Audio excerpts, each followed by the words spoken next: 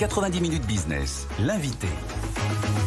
Avec nous ce midi, Rudy Gaudois, directeur France de Segway Nine Mode. Bonjour. Bonjour. On parle de cette actualité, la fin des trottinettes en libre service dès aujourd'hui à Paris, conséquence, vous le savez, d'un référendum organisé par la mairie de Paris euh, qui a pris des airs de vote sanction. 89% des habitants se sont prononcés en faveur de l'expulsion des trottinettes électriques. On rappelle qu'il y avait seulement 8% de votants, mais bon, voilà, ça c'est pour le contexte. Du coup, à partir d'aujourd'hui, c'est 15 000 trottinettes en moins sur les trottoirs de la capitale.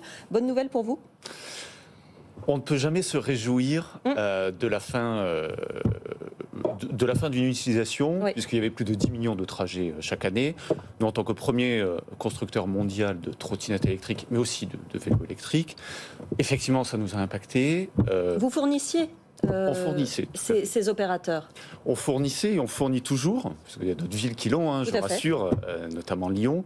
Euh, et puis on fournit aussi les vélos en libre service, puisque vous voyez que dessus il y a écrit Powered by Segway. Donc mm. pas pour 100% des opérateurs, mais pour plus de la majorité. Euh, néanmoins, un besoin a été créé ces cinq dernières années par l'arrivée de ces opérateurs à Paris. Euh.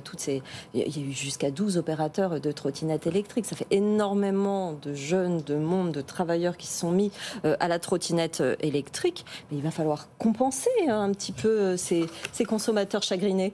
Alors, où vous avez raison, c'est que la France a vraiment été euh, pionnier dans les trottinettes électriques. Et d'ailleurs pour ça que le marché français est le premier marché européen sur les ventes de trottinettes électriques. Comment maintenant est-ce que ça va être compensé?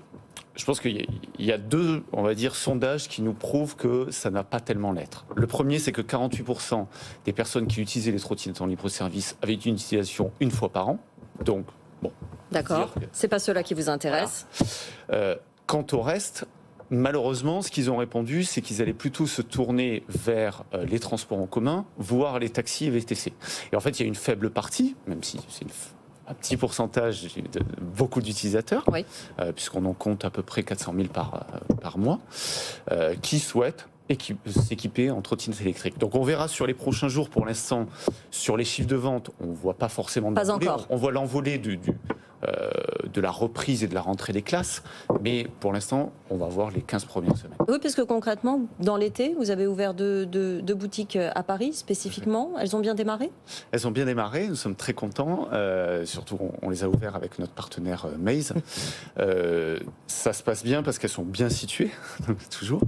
Et puis aussi, on, commence à grandir à la fois sur les trottinettes, mais à la fois sur les scooters, puisqu'on est déjà numéro 2 sur les scooters électriques en 125 cm Jean-Marc. Oui, vous avez dit que Lyon était en train de monter en puissance. Est-ce que euh, finalement la disparition de Paris, entre guillemets, va être rapidement compensée par l'émergence de nouveaux marchés, notamment en province? Et puis, euh, vous avez parlé de l'international aussi, la France pionnière. Est-ce que ça se traduit par le fait que vous vous projetez à l'international?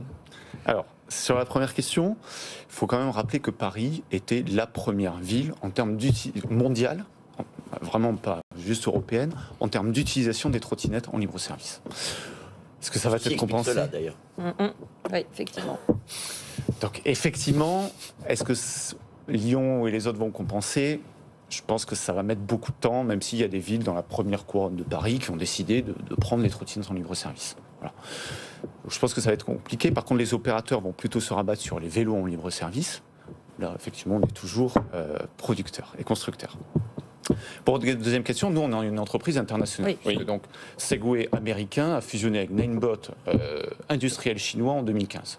Et aujourd'hui, on a une présence partout, que ce soit en Amérique du Nord, que ce soit en Europe, où on est le premier euh, revendeur de trottinettes. Là, depuis le mois de, euh, de, juillet, on est passé premier revendeur de trottinettes en Europe. et bien sûr, en Chine. Vous êtes euh, distribué, alors c'est des trottinettes, mais aussi des scooters électriques. Euh, on l'a dit, euh, Segway Ninebot. Vous êtes distribué chez Boulanger, chez Fnac Darty, chez Decathlon. Combien de revendeurs au total? Votre, votre vente en majorité se fait en boutique physique ou en digital? Alors, la majorité des ventes se fait en boutique physique.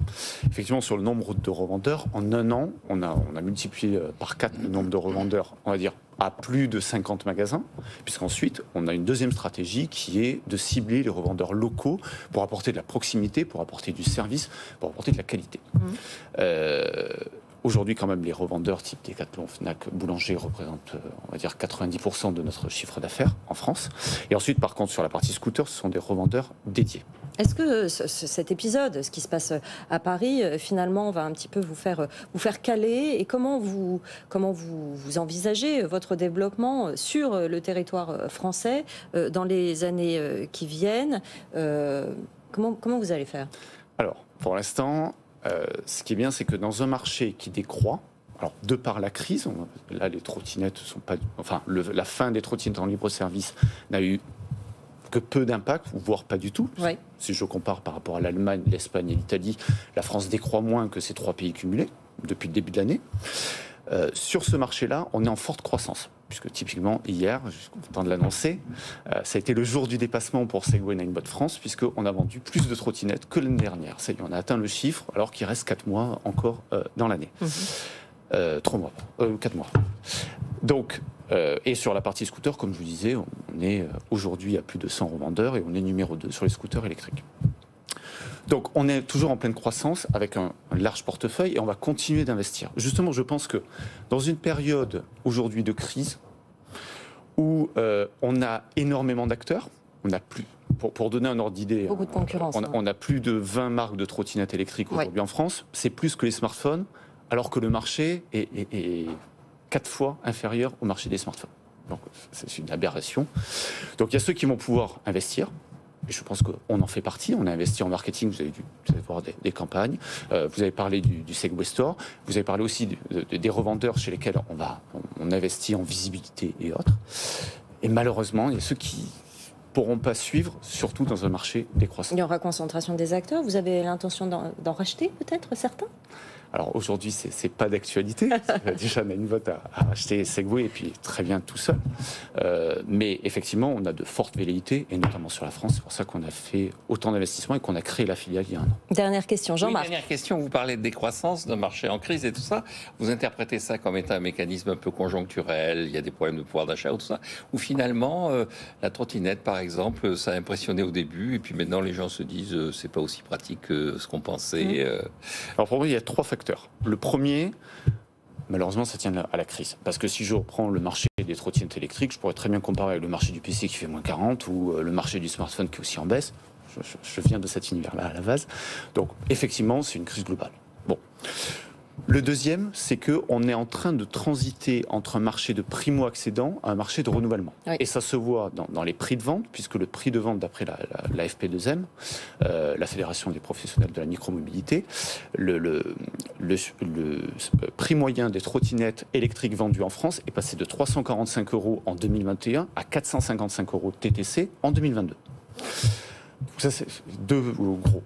Euh, et après, je dirais, c'est un post-Covid. C'est-à-dire après le Covid, il y a eu beaucoup de personnes qui se sont équipées, mais typiquement sur la trottinette, on voit qu'il y a moins, euh, enfin, on a euh, la décroissance est moins forte que euh, sur les vélos électriques, par exemple, où le marché va très mal. On a vu par exemple Van qui a fait, qui a fait faillite. Mais c'est pareil, quand on discute avec les retailers, ils nous disent que malheureusement, ils sont surstockés sur, sur les vélos électriques. Donc les gens se sont beaucoup équipés, comme on peut dire les PC, comme je vous en ai parlé. Donc là, c'est pour ça qu'on parle sur un marché de renouvellement. Dans ce contexte, vous allez bien C'est ça qui est, euh, qui Non, dans un contexte, on continue d'investir. Voilà. Et puis surtout, on a, on a une belle gamme de qualité. On suivra ça. Merci beaucoup, Rudy Godoy, d'être venu nous voir aujourd'hui, directeur euh, France de Segway Ninebot.